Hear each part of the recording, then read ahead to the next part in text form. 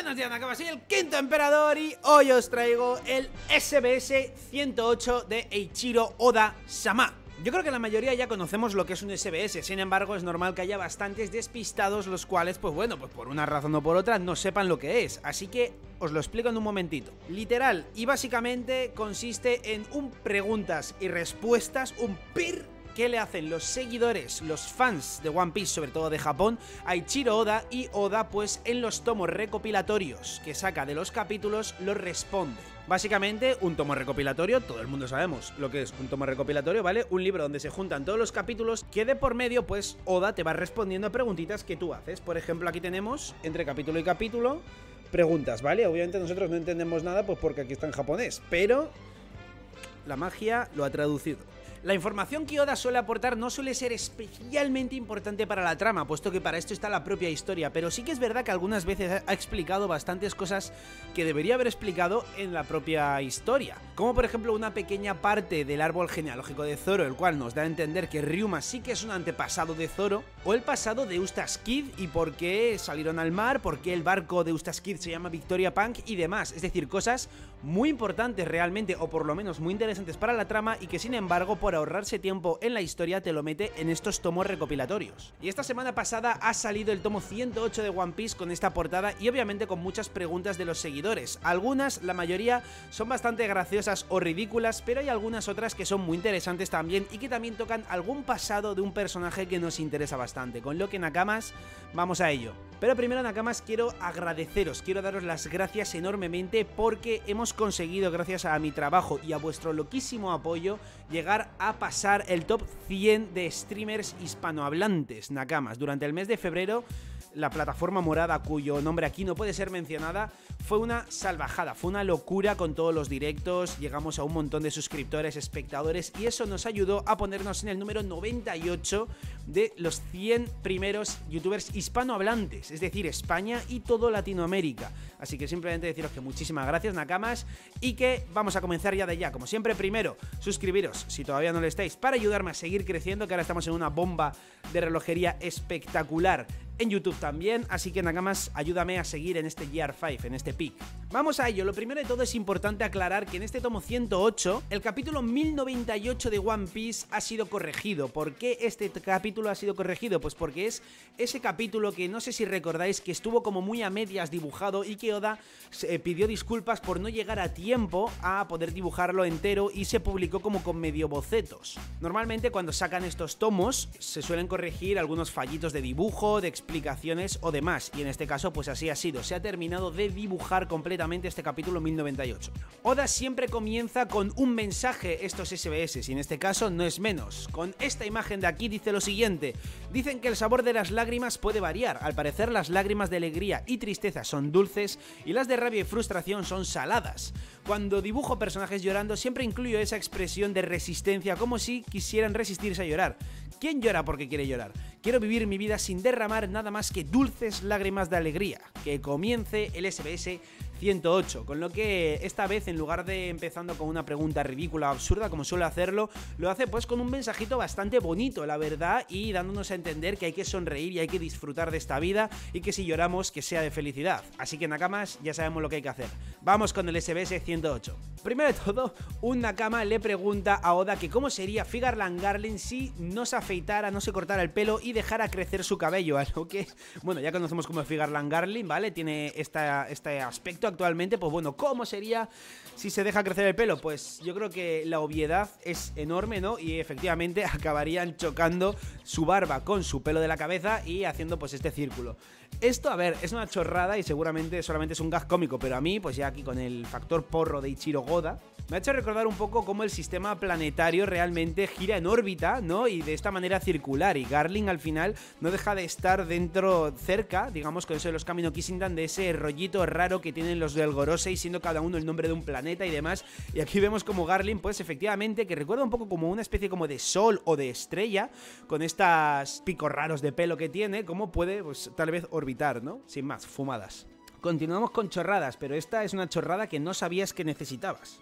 Un lector le pregunta a Oda que cómo sería si al final el destino no hubiese puesto a Big Mom en God Valley y Ivankov se hubiera comido la Wowo no Mi de Kaido, porque recordemos que hubo un momento clave en el que Ivankov estaba a punto de comérsela y fue Big Mom que le metió un puñetazo increíble y se quedó con la fruta que más adelante comió Kaido. Pues Oda nos responde a cómo sería Ivankov con esta fruta y lo tenemos aquí.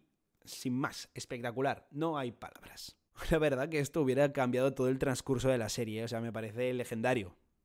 ¿Creías que íbamos a ir ya con algo importante? Pues todavía no Nakamas. Ichiro Oda da respuesta a un lector que le pregunta que cómo sería la forma humana de la espada de Goldie Roger. Esto es algo que ya ha hecho alguna que otra vez Oda y de hecho nos la coló espectacular porque le preguntaron cómo serían las espadas de Zoro si tuvieran una antropomorfia, digamos, es decir, una forma humana. ¿Y por qué digo que nos lo coló? Bueno, pues tenemos aquí las caras que son todas ridículas y absurdas, ¿no? Pero es que de repente muchos capítulos más adelante descubrimos que Zaburo, creo que se llamaba así, el creador del aguado Ichimonji, la espada de Kuina que actualmente pertenece a Zoro, tiene esta cara de aquí y resulta que la cara que nos puso Oda en el SBS no sé cuál de la aguado Ichimonji era precisamente la misma cara que la de su fundador, curioso cuanto menos. Y que podemos intuir tal vez que los espaderos que forjan las espadas, las katanas, pues son un poco como sería la katana, ¿no? Y Oda nos trae la espada de Goldie Roger, recordemos que se llama Ace, como su hijo, ¿vale? Y es esta de aquí, este, este matón del, del Grande Fauto 6, básicamente, pues sería la forma que tendría la espada de Ace, con lo que también podemos deducir que el que forjó la espada de Roger, pues tenía este aspecto. Ichiro Oda revela que Cinderella, la esposa de Guapol, no está con él por amor precisamente, sino más bien por los money que maneja nuestro querido Guapol, el cual, bueno, es el rey del Black Drum o Dark Drum, creo que se llama, el reino oscuro de Drum.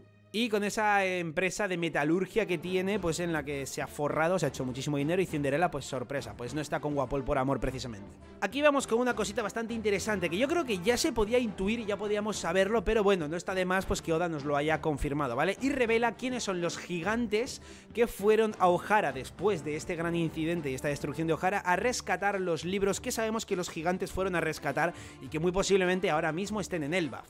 Estos gigantes son Hairudin, Gerth y Gold Goldberg. recordemos que es el capitán de la, creo que cuarta división de la flota de Luffy mientras que Gerth y Goldberg son partícipes de la tripulación de los piratas gigantes nueva que ha creado Hairudin, siendo este mismo el capitán, recordemos. Con lo que ahí tenemos algo interesante también, ¿no? Y es que hace muchísimo tiempo, pues los gigantes que ahora mismo están comandados por Luffy en la flota, fueron los que rescataron esos libros que seguramente leamos cuando vayamos al arco de Elba. Si queréis un dato random de cojones, este es vuestro sitio, vamos a ello. Oda revela que el coletero que tiene ahí Shirahoshi arriba, que no deja de ser un taiyaki, es decir, este, este tipo de pasta, de, bueno, de comida, realmente es comestible y está lleno de frijoles rojos. Y que como también tiene mantequilla, pues que el sabor debe ser espectacular. Eh, no sé, eh, yo qué sé, tío. Siguiente. Bueno, siguiente no, destaca que está muy bien juntándolo con café. no me lo estoy inventando. Oda da el nombre al nuevo barco que tiene Buggy junto a Cross Guild. Y este se llama Big Top Blaster, que traducido al español sería como el gran aniquilador, el gran destructor o algo del estilo. De hecho, según el traductor, es el gran desintegrador, concretamente. Y bueno, puede llegar a tener sentido, ¿no? Al final, entre que Crocodile puede dejar todo súper reseco, eh, Mihawk puede cortar en trocitos y el propio Buggy se puede cortar en trocitos, pues bueno, pues que sea como el gran desintegrador, el gran destructor, pues la verdad que tiene bastante sentido. Y bueno, pues sin más, como dato curioso, está bien saber el barco, el nombre del barco de un Yonko. Por cierto, como un dato curioso también, no conocemos el nombre del barco principal de Kaido. Es más, no conocemos el barco principal de Kaido. Vamos con lo que yo considero lo más importante y lo más interesante de todo este SBS, ¿vale? Y es que Oda nos cuenta el pasado, una parte del pasado de Mihawk. Oda nos explica que las experiencias que Mihawk vivió en el pasado hicieron que este odiara a la marina, porque tuvo una gran traición y tuvo que superarla psicológicamente.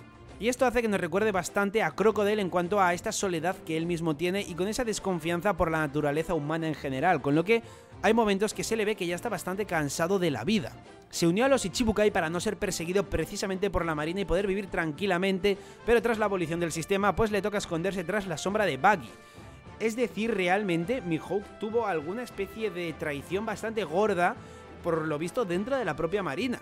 Recordemos que Mihawk es apodado el cazador de marines, y esto se debe precisamente a esto, ¿no? Como sintió una gran sensación de traición por parte de la marina y desde ese momento tuvo un gran rencor y decidió vengarse, con lo que no sé por dónde puede tirar esto, pero desde luego creo que sería bastante interesante que Oda desarrollara un poquito más este flashback y nos explicara cositas. Me parece muy guay también pues cómo tiene esa, esa soledad y dando a entender pues que seguramente Mihawk no sea feliz en ningún momento de su vida. O sea, no se fía de absolutamente nadie. Ha visto en Crocodile tal vez alguien muy parecido al propio Mihawk y han decidido asociarse y se han asociado y metido detrás de la estela de Buggy, del ridículo Buggy, solamente para que los problemas vayan a él y Mihawk se lave las manos y le dejen en paz. Mihawk es una persona que no quiere problemas. Es de la verdad que cuanto menos curioso que alguien tan poderoso como Mihawk tenga por un lado esa soledad y esa necesidad de que le deje todo el mundo en paz, que no quiere problemas. Es bastante llamativo.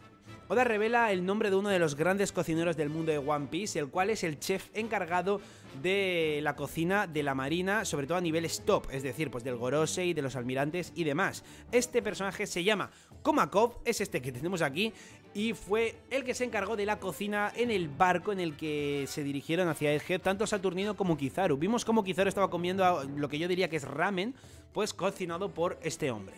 Oda menciona un dato muy curioso y que mola bastante y dice que decidió poner nombres a todos los ataques de Luffy al principio de la serie para que todos los niños que leyeran estos ataques pudieran luego replicarlos en la vida real, es decir, Gomu Gomu no Pistol, pues que los niños puedan decirlo y estoy seguro de que allí en Japón lo dijeron vamos con una cosa que empieza bastante bonita y acaba siendo bastante turbia. Y es esta mujer de aquí, la chica que abraza a Shanks en el capítulo 1079, se llama Linaria y es de los piratas de la mariposa nocturna. Admira mucho a Shanks porque le salvó cuando era niña y después se convirtió en pirata posiblemente inspirada por el propio Shanks. Todo esto es muy bonito, una historia bastante normal, pero al final Oda destaca que es famosa por ser una pirómana. De hecho, es apodada Linaria la Ardiente y es debido a todas las cosas que ha causado por su piromanía. Oda nos desarrolla un poquito también la historia de Hachinosu y de sus habitantes y explica que en esta isla, la isla de los piratas, actualmente llevada por Kurohigen, no es una isla corriente y es que todos y absolutamente cada píxel de habitante que hay en esta isla son piratas o grandes criminales. También explica que los que llevan las tiendas en esta isla son antiguos delincuentes pues ya retirados que se dedican a mercadear ahí dentro y que aunque sea un país, una isla sin ley, incluso dentro de esta isla hay ciertas normas o ciertas conductas a cumplir entre los propios criminales. Y para cerrar este SBS, Oda explica que las orejitas que tiene Kuma no son orejas, no tienen nada que ver con la raza Bucaner ni nada, sino que es simplemente pues cuando el pelo de, de, Kuma se despeina un poquito, como que naturalmente toman esa forma. Es decir, pues nada, pues como el pelo de Oden y como otros tantos pelos en One Piece, que ahora le apetece dibujarlo porque le hace ilusión y le hace gracia y a chuparla. Y ahora sí, por último, perdón que se me pasaba este dato, Oda revela cuáles son las aficiones de cada uno de los miembros de Sword que actualmente conocemos. Vamos a ello. X Drake tiene como hobby los reptiles y la astrofísica, curioso cuanto menos. Kuyako tiene los hobbies de domar gente, bastante random la verdad, y hacer dulces, vamos, súper parecido, domar gente y hacer dulces, clavao. A Prince Grus le encanta acampar solo y bailar, mientras que a Kobe, como ya conocimos al principio de One Piece, le gusta pescar en el mar y entrenar. Hibari ama la fotografía y coleccionar bolsos, la verdad que le pega bastante a esta mujer. Y Gelmepo, por último, le gusta la moda y, ojo a este dato, comer mientras camina. Le gusta, porque sí.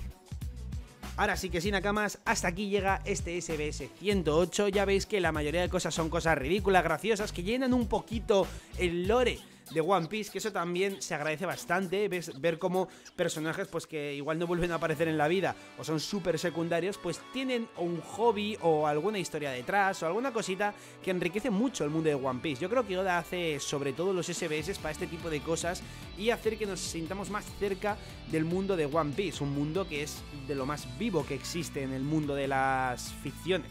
Espero que hayáis disfrutado muchísimo de este SBS y de este videito Nakama. Si es así, ya sabéis lo que hay que hacer ir ahí abajo y darle al botoncito de suscripción para ayudarme a seguir creciendo. Muchísimas gracias una vez más por lo que hemos conseguido como top 100 streamer hispanohablante, también por todo este bombazo que estamos pegando ahora aquí en YouTube. Y lo dicho, los 200.000 nakamas están a la vuelta de la esquina y si te suscribes están aún más cerquita. Muchas gracias nakamas, un saludo y hasta mi próximo vídeo.